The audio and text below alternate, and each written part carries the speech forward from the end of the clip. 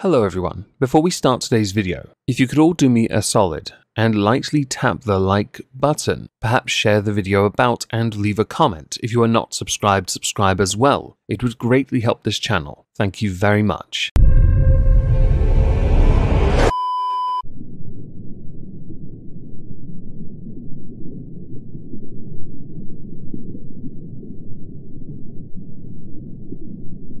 Well, isn't this just fantastic?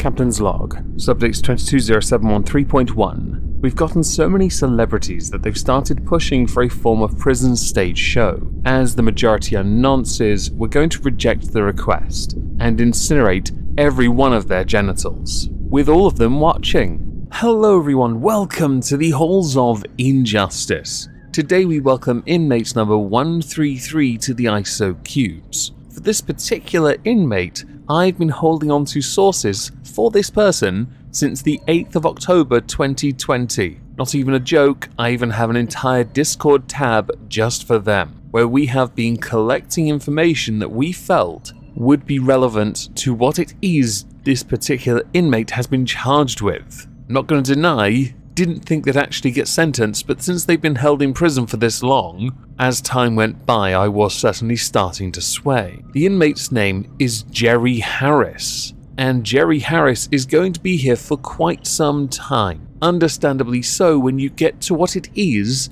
Jerry Harris was charged, found guilty of, and sentenced for. So, what we're going to do first, as Jerry Harris is somewhat semi well known, young, and completely annihilated their own career within a matter of moments, we're going to go through who they are, what it is they have done, the trial itself, although very little was heard of, and their sentence. So, to start this video, just who is Jerry Harris? Inmate number 133, aka Jeremiah Harris, was born on the 14th of July 1999 in Hinsdale, Illinois, and raised in Bolingbrook. At the age of 16, rather unfortunately, his mother had passed away from lung cancer. He was an attendee at the Waubonsie Valley High School, followed by Navarro College, which is in Corsicana, Texas. Just a thing, if you go to their Wikipedia page of notable people, Jerry Harris is the top. You have loads of NFL players and other cheerleaders. But for some reason, Jerry Harris is at the top. Not sure you're going to want to keep Jerry Harris there, just saying. On January the 8th, 2020, the first season of Cheer was released on Netflix. This six part series put Jerry Harris on the map. The series itself followed Navarro College Bulldogs cheer team under the direction of coach Monica Aldama as they prepared to compete in the National Cheerleading Championship that is held in Daytona Beach, Florida. The episodes focus heavily on five individual cheer team members and also speaks about the history of cheerleading, which is a billion dollar industry. Because of Jerry Harris's appearance on this, Jerry Harris appeared with a number of other members of the cheer team on Ellen DeGeneres' show in February of 2020, where Ellen had announced that Jerry Harris would be the Ellen DeGeneres show's Oscar correspondent. His appearance was noted for being eccentric, over the top, as he yelled and cheered on other people. When lockdowns began in 2020, he made a guest appearance on the cheerleading theme song Mascot by Todrick Hall on the album Quarantine Queen. This rise in popularity for Jerry Harris, though, wasn't going to last very long, because in September of 2020, so nine months is all he got, Jerry Harris was charged by the FBI with a few crimes. Oh boy. And these crimes are quite extensive. So that is where we are now going to go as I've given you suitable information as to who Jerry Harris is. Let's now talk about the crimes of Jerry Harris. In September 2020, the FBI announced they had a warrant for Jerry Harris for allegedly soliciting sex from minors. The case involves twin brothers who were 13 when Jerry Harris, 19 at the time, allegedly sent suggestive messages asking for pictures and seeking sex. Here's one of the images. The boy's mother at first dismissed the contacts, but after another cheerleading coach allegedly assaulted them, felt there might be a pervasive atmosphere of tolerance of sexual abuse either in the sport or the companies that govern them. United States All Star Federation, Varsity Spirit, and Cheer Athletics were later named as parties to the legal proceedings. On the 17th of September 2020, Jerry Harris was arrested by the FBI and charged in federal court in Chicago for production of child pornography. Jerry Harris had allegedly admitted to soliciting and receiving explicit messages on Snapchat from other individuals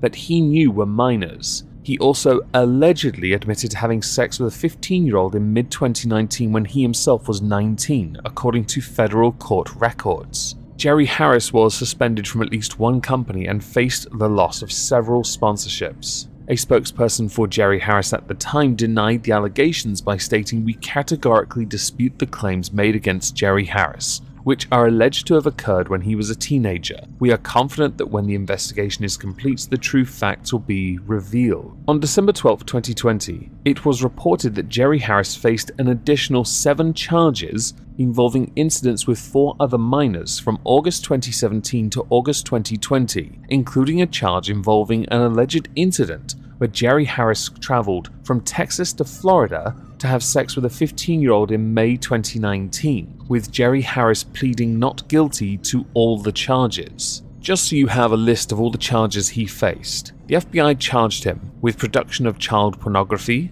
along with other child related sex crimes, which included sexual exploitation of a child, receiving child pornography, traveling with the attempt to engage in sexual conduct with a minor, enticement, and others. Understandably, Jerry Harris didn't appear in season 2 of Cheer, but it is worth noting episode 5 of season 2 is called Jerry, and that was released on January 12, 2020. During that episode, Monica Aldama talks about what happened along with other cheerleaders, their reactions, messages they may have sent or received, but also two others spoke up two very important voices called Charlie and Sam. Charlie and Sam are the victims of Jerry Harris. These on the screen are messages that were sent between them and Jerry Harris. Needless to say, this is not a good look for Jerry in the slightest. In an attempt to distance themselves, Todrick Hall removed the song Mascot from the album Quarantine Queen. It is not available on any streaming platform. Netflix themselves released a statement indicating they will follow this and respond in accordance to the law itself. Navarro Cheer released a statement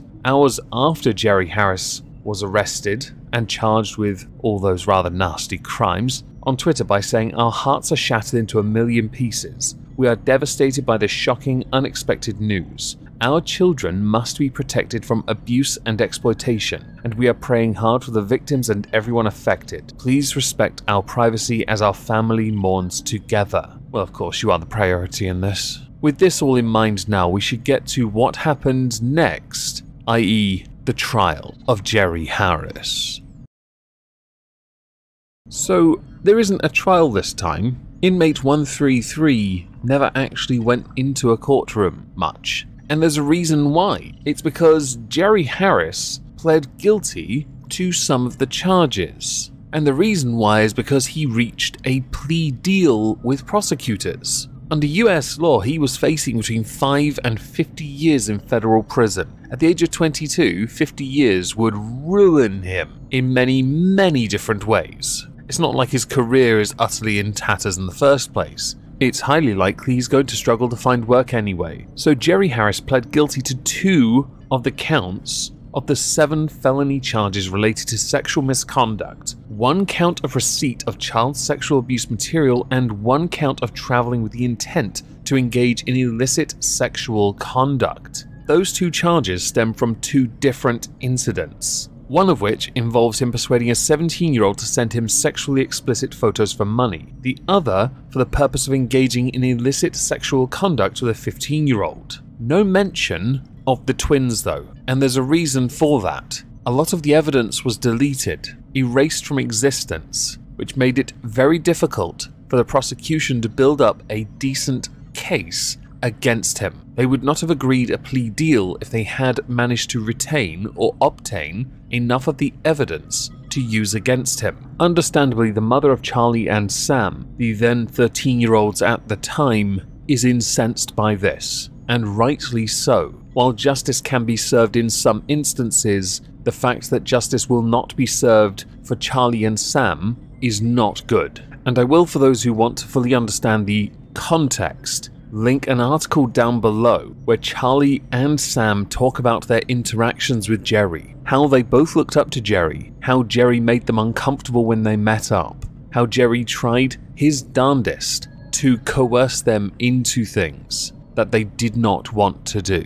Now, as Jerry has pled guilty, we should just go straight to the sentence. Jerry Harris, aka inmates number 133, guilty of a number of charges that he pled guilty to as part of a plea deal, was sentenced to 12 years in prison and 8 years of court supervised probation. Now, as Jerry Harris has been held in custody since his arrest, one does wonder if that sentence is less because of time served. But then add to that how typical systems work, he will more than likely be out in 7 years. At latest, if they do what we do in the UK, it would be even less if it's time served by the way. So, really, the sentence is at most six, with eight years of court supervised probation. The sentence doesn't feel enough. For many of us, when an adult takes advantage of a child, the sentence is life. 50 years seemed apt, but we'd make Jerry Harris serve all 50 of them.